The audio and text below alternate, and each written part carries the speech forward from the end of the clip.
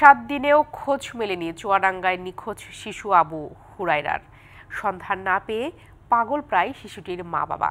এরই মধ্যে প্রাইভেট শিক্ষক সহ পাঁচজনকে আসামি করে থানায় মামলা করেছে শিশুর বাবা।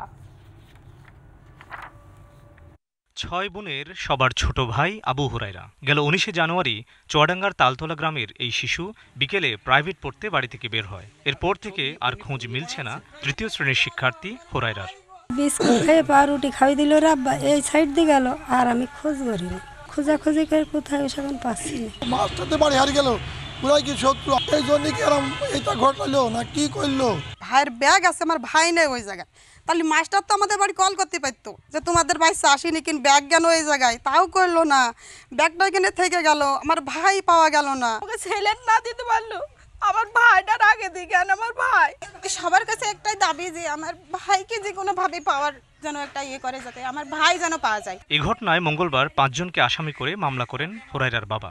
সে মামলায় প্রাইভেট শিক্ষক সহ দুজনকে গ্রেপ্তার করেছে পুলিশ। এক সপ্তাহেও খোঁজে না পাওয়ায় গুজব ছড়িয়ে পড়েছে গ্রামে শঙ্কায় এলাকাবাসী।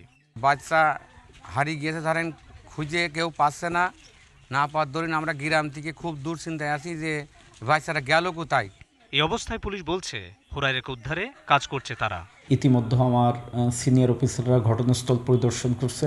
আমাদের একাধিক টিম যে আসলে সে কি নিখোঁজ নাকি কেউ অপহরণ করেছে বা অন্য কোনো দুর্ঘটনা ঘটেছে কিনা এ বিষয়ে আমরা চেষ্টা অব্যাহত আছে। DBC news desk.